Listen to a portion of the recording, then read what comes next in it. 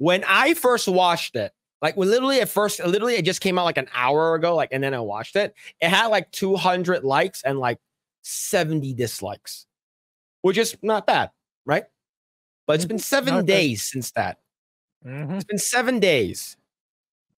And I heard this is one of the most heavily ratioed videos on YouTube. 71,000 likes, 872,000 dislikes. Almost Yeah. a million. In terms of ratios, this is this is so bad. What mm-hmm. is happening, man? Oh Yeah, my I- god.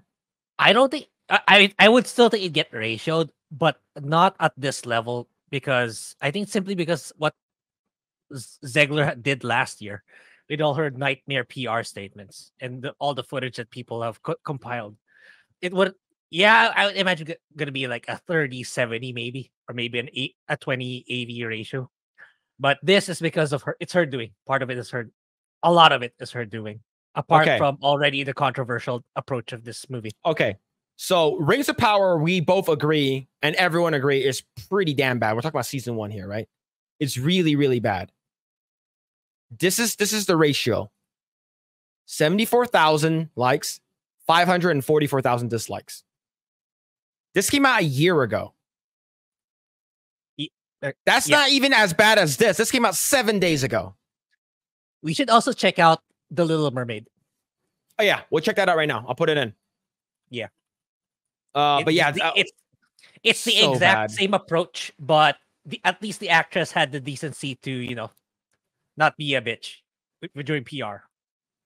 Okay, let's uh, let's go check out the let's go check out the teaser. I'll check out the teaser and the official trailer, so we so we get a, a, good judgment. Now, this is the let's go. So this is the the teaser. This is the teaser, but in terms of ratio, the percentage, we're talking about percentage here. We have 1.2 million likes, 3.8 million dislikes for the teaser trailer. So it is a lot of dislikes, but it's the ratio is not as bad. It's sort of like I would say that looks like 80%, maybe, yeah, maybe like around 80% like uh, 80% dislikes and 20% likes, right? And then the actual um what's it called again? The actual uh trailer is 374 likes and 2 million dislikes. Like I'm looking at the graph right now, and this looks like maybe 90%, 90% dislikes and then 10% likes. But if you go to this one, this is like a 5% like to 95% dislike. This is this is re like the ratio wise, it's it's insane. Like holy crap. And but the thing is that we all know that Rachel Zegler is not a good person. Right? And um but the thing is I do want to talk about her and Gal Gadot. And we do know that with the whole Palestine uh Israel you know controversy and we're coming we're approaching a year since that incident happened i think we have about like a maybe a couple more months but the thing is like they started filming the movie they started doing the movie together before the incident happened before be- be- before Yeah, october yeah. 7th happened right Mhm. so now this this this- this is going to be a biased uh article news article because it's coming us coming to us from the jerusalem post okay so gal gadot haters call for snow white boycott co-star Rachel Zegler voices support for Palestine. So did you see the fact that she's like, I'm the most fairest? And then she said that also, and, and, like she posted it on Instagram. And I even showed the pictures to my wife. I was, I was like, look, look at this like press tour that they're doing. She looks like she doesn't want to be there.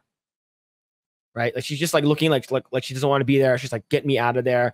And like, and we do know that like uh, Gal Gadot was a part of the uh, what's it called, an Israeli um, the you know, the IDF, Israeli Defense Force, and she was, you know, she was an Israeli um, what's it called again? I think she was like maybe like a yoga instructor. I'm not sure. Whatever she was, ins- insanely attractive woman, super nice. Seems like she's super down to earth, but she shows support for um, Israel. But the thing is that you, you know, this is her, you know, couple uh it's like her last year and her now is completely different. Let's go and read this. Zegler posted the trailer on her X account, noting the film will be released in 2025 and thanking viewers for their support, and then added in a comment, and always remember free Palestine. Right. And I don't think she's Palestinian. She's Colombian, right? Uh, let me check. Let me check. I, am not saying that. I'm not saying that if you're like you have to be Palestine to support Palestine. I'm not saying that, right? But, yeah. But yeah, but, let's see. Yeah, uh, again, it's like it's such a slippery slope. Given you already had extreme negative feedback prior, like last year, and you apparently you you learned your lesson, which everybody knows you didn't, and you still insist on riling up people like this when when your show is about to be released. Mm-hmm. Yeah, it, this is so, yeah, you're a PR nightmare all through and through. You should you should have been um they should have just canceled this project and just terminated it. Honestly, yeah, it's, it's not worth the monetary trying to recoup the losses for and the really really terrible reputational damage. I, I don't think she's worth it. I don't yeah. so. So Eric K says uh she was Miss Israel in 20 uh, so she was Miss Israel. It makes sense. It makes sense, man. She's insanely attractive. like I'm not sure she had like four kids now or whatever. She still looks great. Yes, Miss Israel 20 uh 2004. That's crazy, man. But yeah, let's over here. I say lots of people enjoy a celebrity spat, and social media users have been trying to pit Snow White co-stars Rachel Zegler, who plays the title role and has posted support for Gaza ceasefire and Israel uh, and Israeli Gal Gadot, who portrays the evil queen, against each other since the release of the trailer and the Disney live action remake of the classic uh, cartoon on Saturday. Zegler posted on the uh, posted the trailer on her X account, noting that the film will be released in 2025 and thanking the viewers and support, and then added, "Always remember free Palestine," which is right over here. Yeah, she's also playing Romeo and Juliet. Right, she's playing. Ju- I think she's doing a rehearsal for Juliet. See, Gal Gadot, a former martial arts instructor in the ID. Okay, sorry, she's not a Pilates dancer. Sorry. Uh, uh, and the IDF has also posted many times on social media calling for the release of the hostages held by Hamas since October 7th massacre and attack about 115 whom are still captives in Gaza. She reportedly helped arrange a screening in the Los Angeles in late 2023 of a video compilation of the atrocities committed by Hamas, much of which was filmed by the terrorists themselves and released on social media. Uh, she also took activists to task for not believing that Israel, uh, Israeli women were raped on October 7th. Comments showed a Snow White trailer were overwhelmingly negative with two main complaints. The first was that Gadot is so beautiful that it was impossible to believe that she would be jealous of Zegler, which is absolutely true.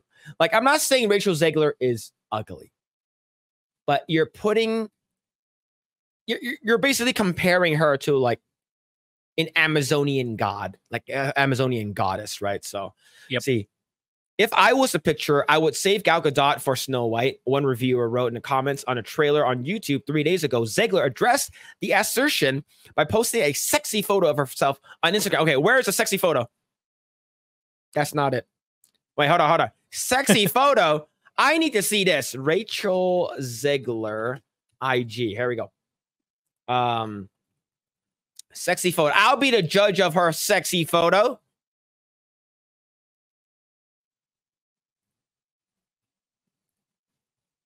right, here we go. This is the one she she she posted that she she says, "I'm the fa- the fairest, by the way," and then she posts, "Okay, what do you think? Judging based off, we're objectifying the shit out of her right now. What do you think about her and her alone? Not compared to Gal Gadot, just her alone. May she doesn't. I don't think she has horse teeth, so we're we should be good on this one, Grae. so I'll go ahead go, go go ahead and think about it. I'll scroll through her photos the first one looks like it was, you know, uh they did a ton of lighting in the first one. Okay. What about They this one? It's okay. It's okay. Yeah. Not the best, but it's okay. Yeah, Yeah. Uh, s- like you said, standalone, it's fine, but nothing really, really great in my opinion. Doesn't does average at best. Yeah, yeah, I would say so too. Now, now I I I just basically looked at the comments right there. Mm-hmm. The f- I'm looking at the first five comments. Gal is much much more beautiful than you. Every mirror will tell you this. Second one, Gal is the fairest. Third one, suddenly you look so evil. Fourth one, not even the fairest in the room Laugh my ass, laugh my fucking ass off. And then the fifth one, bro, is not the fairest. Yeah. So the thing is that, of course, uh, like for me, I think she's average looking. Um, and the fact that what the fuck is this, man? What what the hell is this? Where are they? Where are they? Sorry, sorry, sorry. I look Ga- Gal Gadot. She she's pretty she's pretty slim too. I'm not saying she's not, but like in terms of looks, like Gal Gadot just it's not even close. Let's go back to over here.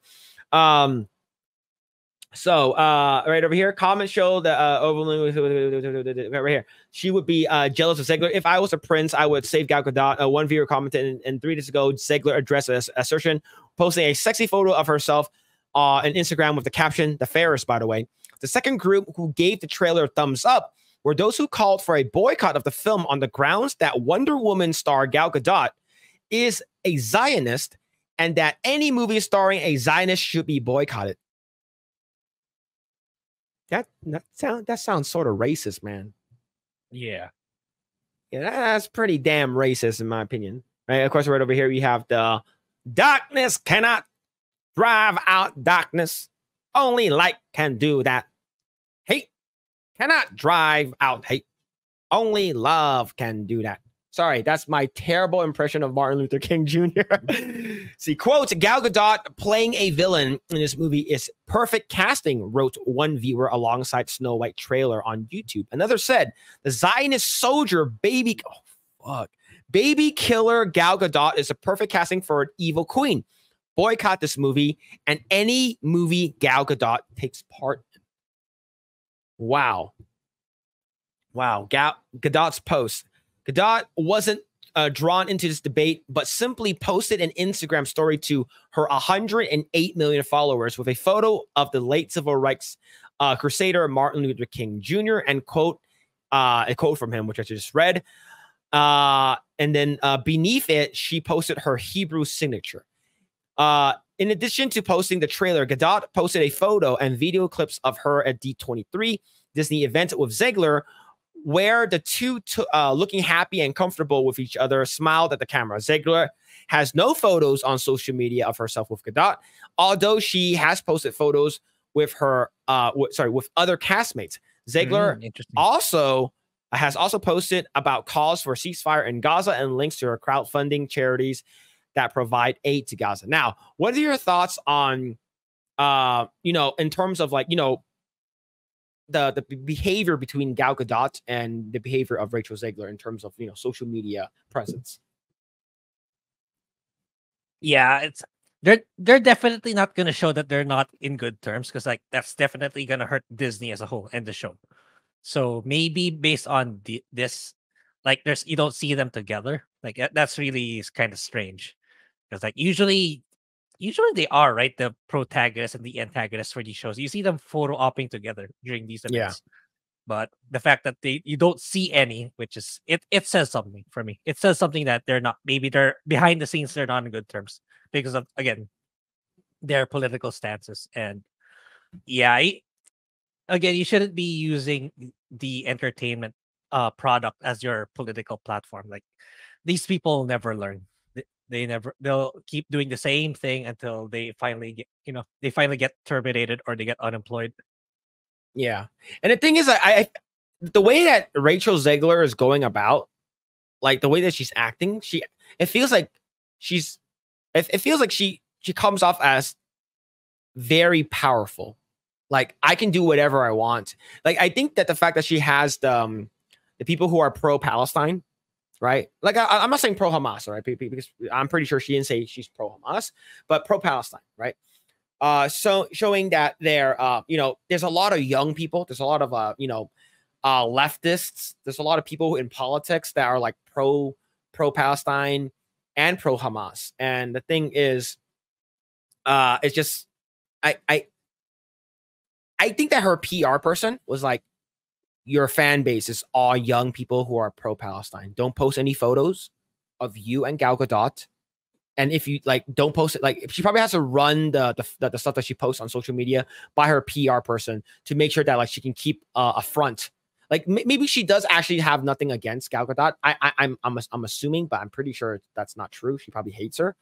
but it's just like at least be professional about this, right? And it feels like Rachel is not because she's pretty she's pretty young. She's like in like her early 20s, maybe like 24 or something like that.